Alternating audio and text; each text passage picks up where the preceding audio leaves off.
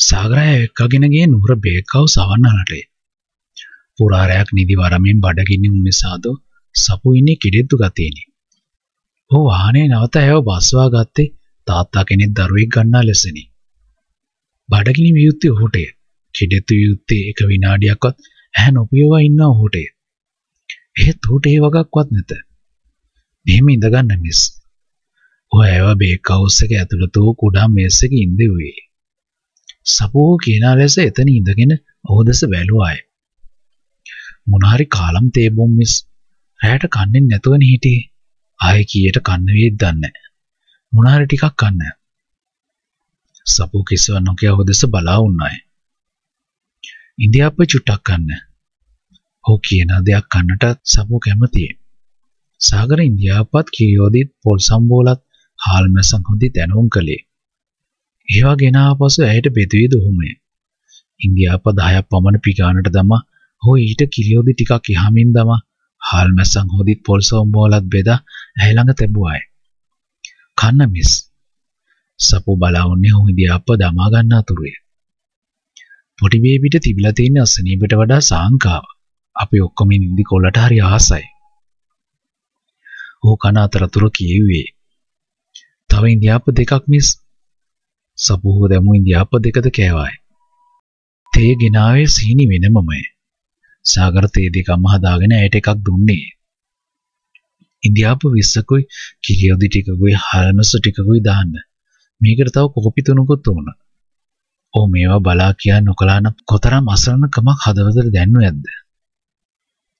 බේබිගේ ඇඟ තෙමලා අලුත් ඇඳුමක් අඳලා ඉන්දියාප ටිකක් කිරියොද්දි එක කවමු. හවසේදී පොඩි බේබිට සනීප වෙයි. මල්ලිය සනීප කළේ දොස්තරවරුනුයි. ඔහොය. සපුට සිතුනේ එහෙමයි. සපු මල්ට ඇඳුම්ද රැගෙන එද්දී දිල්හාරලා රෝල්ට පැමිණි උන්නුවේ. රෝල් කාමරයට සාගර සපු දෙන්නම ඇතුළුවේ එකට මේ. දෙන්න ඇතුළෙද්දිම රංජනී දිල්හාරත් දෙන්න දෙසම් බැලුවේ එකටම වගේ. දිල්හාරය එනකම් ටිකක් හිටියන හරිනෙදුව. එහෙ උදේ කෑමක් ලෑස්ති කළා. ඔයාව ගන්නෙද්දි ගිහින්. සපු රංජනීගේ කතාව ගණන් ගත්තේ නැත. සියලටම වඩා ඌ අරගෙන දුන් ඉන්දියාප්ප 10ත් කිරියෝදි ටිකත් ඇයට රටක් වටේ. අම්මා දැම්ම කනවද? තියන්න පුතේ හිමීට කන්නම්. දිලාර මොත සපෝදෙස බලා උන්නේ. බබා ෆාම් හවුස් එකට යනවා නම් යන්. මං එක්ක යන්නම්. මහන්සිත ඇතිනේ. මම යන්නේ නැහැ දිලාර අයියේ. සපෝ කෙලින්ම කීවාය. දිලාර දැන් ෆාම් හවුස් එක පැත්තේ යනවද? සුදාත ඇසුවාය. ඔව් නැන්දේ. එහෙනම් සියව එක්කන් ඉන්න. සියට කොල්ලා බලන්න ඕනලු. අම්මා කලේ නියම වැඩේයි සපෝට සිතුනේ. තාත්තා එක්කන් ඉන්න මේ තියෙන වාහනේ යවන හරනේ ශ්‍රීදතා. රංජනී කීවායි. මේ දරුවා මල් ළඟ ඉන්න ඕන. තිල්හර යන්න. සපෝ කවුලෙන් පිටත බලාගෙන සිනාසුනායි. ඒ සිනාව සාගරත් දැක්කේ. ප්‍රේමට කතා කළාද පුතේ? ශුදාත ඇසුවේ සාගරගෙනි. අවුලුකු නෝනා පොඩි බේබිට සුප් එකකුයි පාන් ටෝස්ට්රි හදලා තියන්න කිව්වා. ලොකු සයික ප්‍රේම ඇහි ලොකු නෝනා. දිල්හර ඉන්නේ සංගවාගත් කෝපේනි. සාගර හෙදියක්ව එකාගෙන එන්නට කාමරෙන් පිටතර ගියේ සබමාර්ගයේ සේලායන් එක ටිකකට ගලවා ගන්නට. දිල්හරද ඒ සමග වගේ පිටතර ගියේ. සපෝට දිල්හර ගියේ කැල්ලුවේ නැත. "ඔයි මේ" කුරිඩෝවේදී දිල්හර සාගරව අල්ලා ගත්තේ. කතා කරන්නවත් අම්මලා තාත්තලා උගන්නලා නැහැ. සාගරට සිතුණි. "ඇයි? තමුසට දැන් මෙතන වැඩක් නැහැනේ. තමුසේ දැන් යනවා ෆාම් හවුස් එකට." මට ලොකු නෝනා ඉන්න කිව්වා. සාගර බිම් බලාගෙන කීවේ. කාමරෙන් පිටතරා සපෝද මේසයල්ල බලාගෙන. තමුසේ ගානට වැඩි හරිද? කියන දේ කරනවා. දැන් යනවා. බේබියු දාලා යන්න බෑ. ඔහු ස්ථිරලස කීවේ. සපුට බොදම සිතුනි. සාගර දිල්ලාරට බය නැත. ඒ ගැන සපු ආඩම්බර වූවායි. කියන දේ අහලා දැම්මම යනවා. මෙතන තමුසින්න තමුසි ડોක්ටර්ද? සොලි දිල්ලාර මහත්තයා. මම යන්නේ මම බේබිගේ ටිකට් කපන දවසට තමයි යන්නේ. සාගර කියද්දි දිල්ලාර සාගරගේ කමිස කොලරෙන් තදින් අල්ලා ගත්තේ. උඹට මම දිල්ලාර අයියා සපු කෑගසුවාය. දිල්ලාර ගැස්සී ගියේ. මෙතන මල්ලි අසනීප වෙලා අපි ගින්දරෙන් ඉන්නවා. ඔහා මෙතන ඇවිත් මේ මිනිස්සුන්ට ගහන්න යනවා. මොනවද මේ වැඩ? මුගේ කට වැඩි. මූ දැන් නැත්te මං කවුද කියලා. දන්න නිසා තමයි මහත්තයා කියලා නම්බු දීලා කතා කළේ. නමුත් ඔයා කරන්නේ බාල වැඩ. සාගර එතනින් ගියේ. දිල්ලර කෝපෙන් තොල්පට හපා ගත්තේ. එයාට අම්මා ඉන්න කියලා තියෙන්නේ. එයා කොහෙවත් යන්නේ නැහැ. සපු කියා හැරුණා. බලමුකෝ ඉන්න හැටි. ඇයි යවන්නද? සපු යලිත් හැරී ඇසුවාය. සාගර මේ කිසිවක් ගන්නට නොගෙන සපු මල්ල ඇඳින් පරිස්සමින් බස්සාගෙන කාමරය වෙත එක්කගෙන ගියේ. රංජනිත් දිල්හරත් දෙවන වතාවටද රෝහලෙන් පිටුවී තරහිනි. සබෝ සිදුවූ සියල්ල අම්මාට විස්තර කළාය. ඇය උන්නේද ඇත්තටම තරහිනි. සාගරට එසේ කරන්නට ඕගල වරදක් නැත. ඇරත් එසේ කරන දිල්හරටද අයිතියක් නැත. මේ වගේ කොල්ලෙක් අපි ගාව ඉඳිද්දි යාට බය ඇති. ඒකයි ඔය. ශ්‍රදාතා කීවාය. අම්මා කිව් දේ තේරුම් ගන්නට සබ්බුට සෑහෙන වෙලා ගත වේ. පොඩි ගාගේ ඇඳුම් සියල්ල ගලවා ඔහු උණු වතුරින් සාගර තෙතමාතු කරන අයුරු සබෝ ශ්‍රදාතත් නාන කාමරයේ දොරකඩ ටීවී බලා වුණේ ආදරේනි. ලැජ්ජා වෙන්න එපා. අක්කයි අම්මයි නින්නේ. පොඩි ගාසරනව ලැජ්ජාවෙන් සිනාසෙද්දි සාගර කීවේ. ඔහු මල්ලිව තවන්නේ කොතරම් ආදරයකින්ද සපූ දැක්කාය.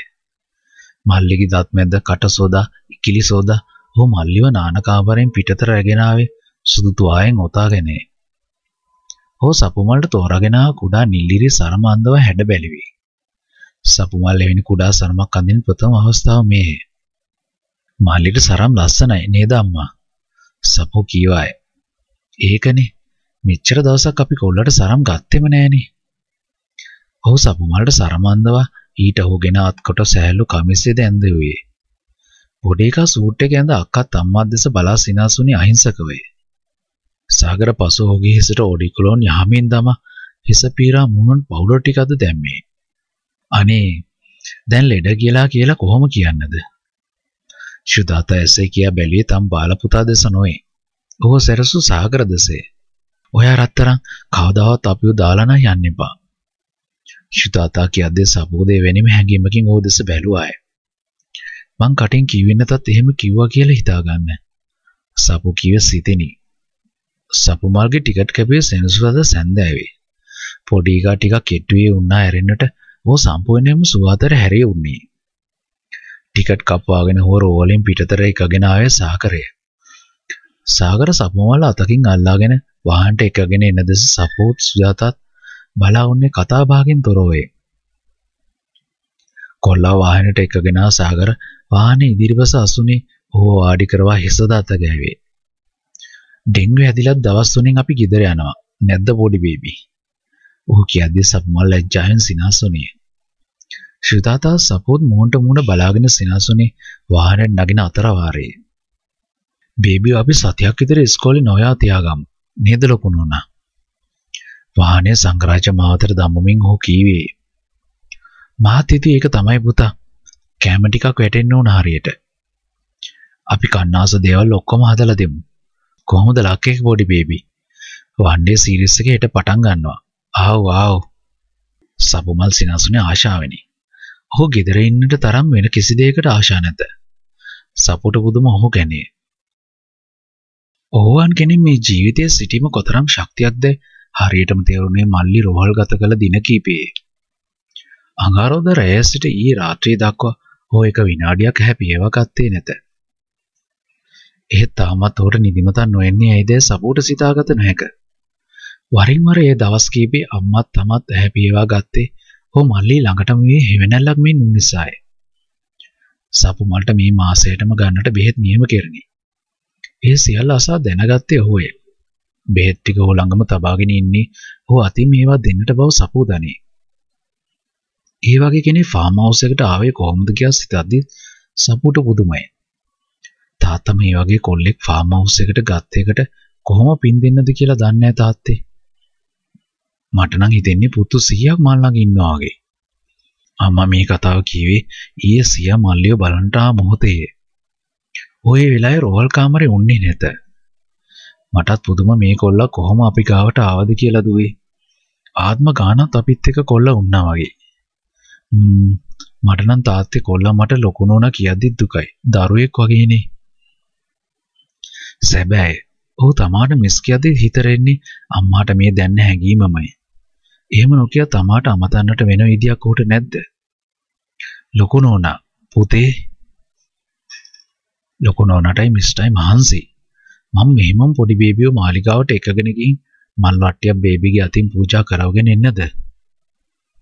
ඔහු මෙහෙම කියන්නේ මල්ලිට සනීප වුණට කියා වූ බාරය සේවීපව සපෝදනේ. යම් පුතේ අපිත් එන්නම්. කමක් නෑ ලොකු නෝනා. මම බේබිව එක්කගෙන ගිහින් ඉන්නම්. ඔයාටත් මහන්සිනේ පුතේ. බාරක තුනන් ලොකු නෝනා. දලදා හාමුදුරන්ගේ පිටින් බේබිට දවස් 3-4කින් සනීපත් වුණානේ. මං ඉක්මනට එන්නම්. යම් බේබි. මාලිගාවසල වාහනේ නතර කරවෝ බැස්සේ. ඊටත් පසු අනෙක් පසෙන් පැමිණ සපුමල්ල බස්වා ගත්තේ. මල් වට්ටියක්ද සකසාගෙන මල්ලිගේ අතකින්ද අල්ලාගෙන ඔහුව මාලිගාවට එකගෙන යන දෙස සපු බලා වුණේ පුදුමේනේ. තමාවත් මල්ලිට ඒ තරම් ආදරේ නොකරතේ සපුට සිතුනි. ඔහු මල්ලිව අතින් අල්ලාගෙන යන්නේ ඒ තරම් ආදරයකින්. පුදුම දරුවෙක්. ශ්‍රීදාතා කියේ සපු දෙස බලාය. ඒ ටිකම තමාටත් කියන්නට පුළුවන් නම් කොල්ලා හිටපු නිසා මල්ලි දවස් තුනින් ගෙදර එක්කගෙන යන්නේ. නැත්තම් ඩෙන්ගු වලට සති දෙක තුන තියා ගන්නවා. වෙලාවට බෙහෙත් ටික දිදී කව කව පොහො පොහො මල්ලිව බලාගත්තේ. අපිටවත් බෑ මල්ලිව ඒ තරම් ආදරෙන් බලා ගන්න. අම්මා කියන මේ කතාව කොතරම් ඇත්තක්ද සපෝතනේ. මල්ලි සනීපුවේ ඔහුගේ අත්ගුණයට, කරුණාවට, ආදරයට ඔයා ලැබෙන්න ඉන්න කලින් මට බබෙක් බඩට ඇවිත් මාස 3කින් විතර නැති වුණා. එයා හම්බ වුණා නම් මේ වගේ ඉඳී.